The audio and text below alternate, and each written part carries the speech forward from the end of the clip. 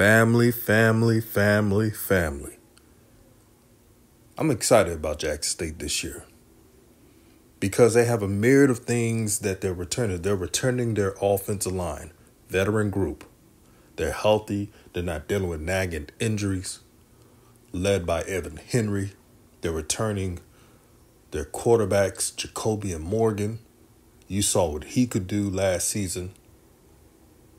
Their DBs that led in interceptions throughout the nation, not just in the conference, throughout the nation in picks. Defensive line returning a bunch of veterans. This is TC Taylor's team. You all should be excited, and I'm going to chime in. Let's go.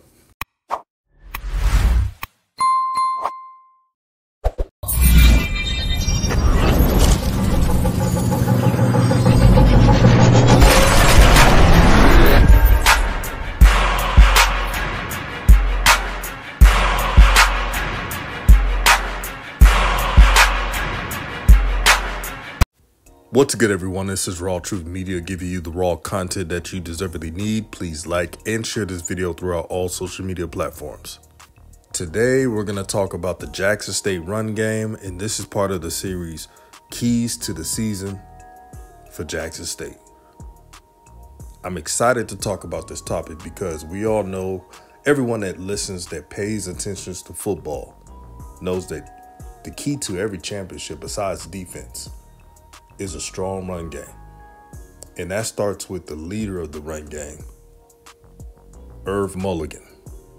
I've talked to plenty of coaches, especially uh, people who are fans of HBCUs.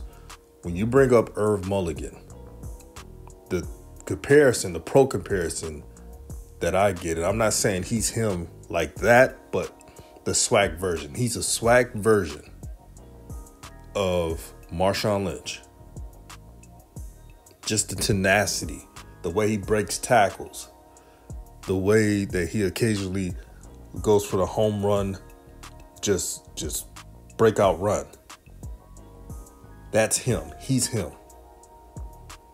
And if he's healthy this season, now you know in football you're to have little nicks and pains here and there, and you can play through them. If he doesn't have major injuries, knock on wood, I expect Irv Mulligan to have over a thousand yards. Easily. If Irv Mulligan does this, and if Jackson State goes far, that's going to be more accolades for him. Then the scouts are going to pay attention to that. And you know how the NFL scouts are. Let's be honest. They like to see you play against FBS teams to see how you do. So when they play against UL Monroe, they're going to showcase them. Now they're going to be strategically so he can be healthy for the season. You know how it is with these money games. Irv Mulligan, the ultimate tone setter, averaged over 5.5 yards per carry. He is a threat. He is the reason that defense is key in on him, and that's going to open the pass game up into play action. But this run game is like Willy Wonka and the Chocolate Factory, you're asking yourself, why would I compare it to that? Because they got every type of running back that you need for Jackson State. They got you do it all running back in Irv Mulligan, who is the tone setter. Then they got Mr. Versatility, Mr. Jack of all trades, and JD Martin. And JD Martin, I feel like can be a lot better. He's a shifty back. He can catch out the backfield. He's probably one of the fastest running back. Probably is the fastest running back. Y'all let me know in the comment section. Ahmad Miller last season showed me some things that he was a true freshman. And he plays with a lot of heart. And I know there's more running backs. Desmond Moultrie, which, you know, goal line back, power back, but he's useful this running game, and I didn't even mention the freshmen. I'm gonna wait till the freshmen. I'm only mentioning the players that played last season that are returning because the freshmen got to prove themselves. Even though I'm hearing great things about them, those four names that I mentioned is going to cause hell for opposing not only SWAC defenses, all of FCS.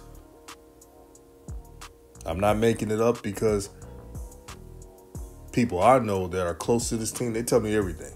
So there's nothing I don't know about Jackson State and know what they can do. That's why I'm very confident about this team. Very confident. The run game is your friend. Back to Irv Mulligan. He's going to want to prove a point. He wants that SWAC player of the year. He wants to take his team to the SWAC championship game and then Celebration Bowl and to win it. It's not going to be easy, but this schedule helps it. the schedule help. This is a favorable schedule. Let's not lie now. It's just as a fan of football, I'm a big fan of running backs that takes the punishment to the competition. When he trucks someone, when he stiffs on someone, they feel that. Another reason why the Jackson State running game is going to be even better than last season. Last season, TC Taylor was the first year head coach. And as the first year head coach, everyone's trying to uh, know their identity with the team, know their position, uh, situational football. They get that now. I think every running back for this team knows who they are, knows uh, there's a goal line back, there's a uh, first 20 yard back, there's uh, the third down back. We already know about Irv Mulligan. He's the every down back. But I think every running back on this team knows what to do. And they don't have to be second guessing and just looking deer in the headlights. You know how it is when it's your first year with a new coach. If I'm the Jackson State running back group and I had a designated team goal, that would be to rush for over 2,000 plus positive net yards. I repeat, 2,000 plus positive net yards. Because if you do that, it increases the win total. Not too many SWAC teams have the type of D line that can stop a powerful run game. I know FAMU does. Uh, I'm looking forward to see what Alabama State has on that defensive line front. They lost a lot in the portal. I know they added some in the portal, but they have some new faces there. They have some new faces there at linebacker. So I still want to check them out on that. But besides those two teams, there's not going to be that, in my opinion, unless there's a transfer portal D tackle that I'm not hearing about. there's not too many teams that are going to stop that run game. So it wouldn't surprise me if they get that number. If they get that number, it's going to be trouble, trouble. and lastly, before you can have a run game, you must have stout offensive line. And when you have veteran returning offensive line and Evan Henry and Kirk Ford, that makes a lot easier. And then you add in the underclassmen who are over 300 plus pounds. The entire offensive line of Jackson State, I repeat, is over 300 freaking pounds. Now, I know there's going to be a shine that says, well, there's a couple teams that have linemen over 300 plus pounds. The entire offensive line, think now. and then you add transfers who played at FBS, who has the positional size that they're looking for 300 plus pounds. This is going to be an effective power run game. When you return offensive line, you can only go up as an offense. The offense wasn't their problem. I, I know the new offensive scheme, uh, the injury to Jacobian Morgan at the beginning of the year didn't help, but I saw some great things. And I'm looking forward to what this Jackson State offense could be, led by the Jackson State run game. Before I end this video, I want to say thank you all that have been hitting me up, saying they love my videos and miss my commentary. I appreciate it because I do these videos for you guys. Uh, I love football. I love the camaraderie of football. I love the fam- family type of energy of football. And every time I talk about football with you all, it's a blessing. Thank you all for the positive vibes. We need more of that in this world. Y'all know how dark this world is.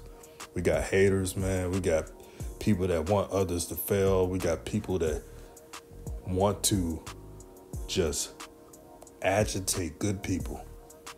This is the world we live in. So we could bring more positivity and good synergy around that makes it all worthwhile. I appreciate and thank you all. Look out for part two. This is Raw Truth Media. Let me know what you think in the comment section, and I'm out.